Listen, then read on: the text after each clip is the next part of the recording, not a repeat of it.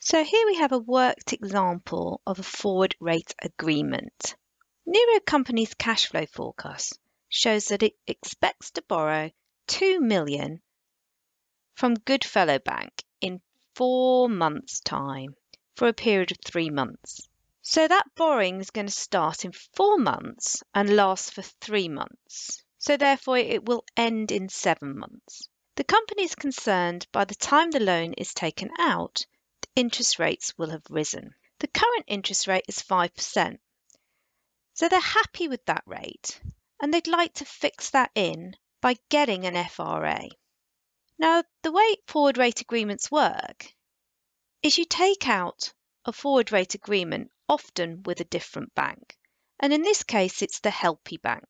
So your contract is with Helpy Bank on the FRA, but you're going to take the loan out with Goodfellows Bank in four months' time. We've now got to determine the cash flows if the interest rate when the loan is taken out is first of all 6.5%, and then secondly, we'll redo the cash flows if the interest rate falls to 4%. So what FRA is needed? Well, remember, the loan starts in four months' time and lasts for three months.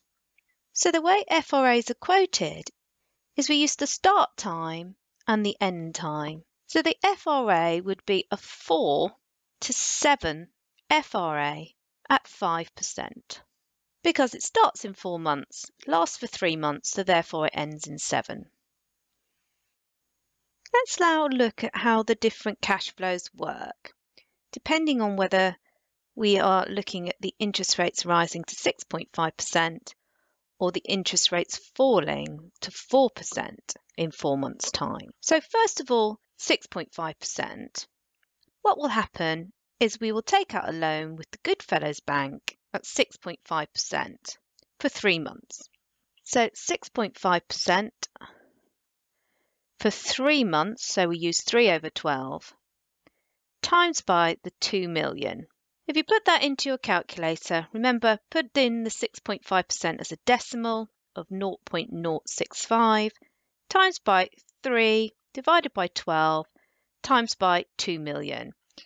And you should get 32,500. That's what you're going to have to pay to Goodfellows Bank as interest on that loan of 2 million for 3 months. But because you've taken out an FRA with Helpy Bank, you will receive compensation for the fact that the interest rate is higher than the FRA rate at 5%.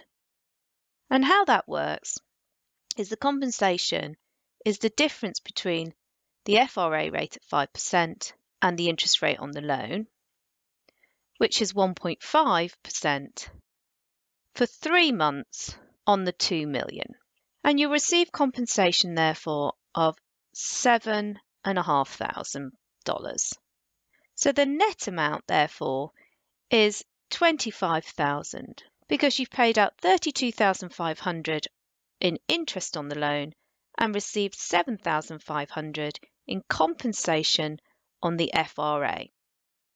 Effectively, you've fixed at 5%. Let's now have a look and see what would happen if the interest rates fall to 4%. So in the same way, we'll now be paying 4% for three months on the 2 million because the loan with Goodfellows Bank will now be at 4%, the lower rate. We will now therefore be paying 20,000 on the loan in interest payments. But we now have to work out what's going on with the FRA.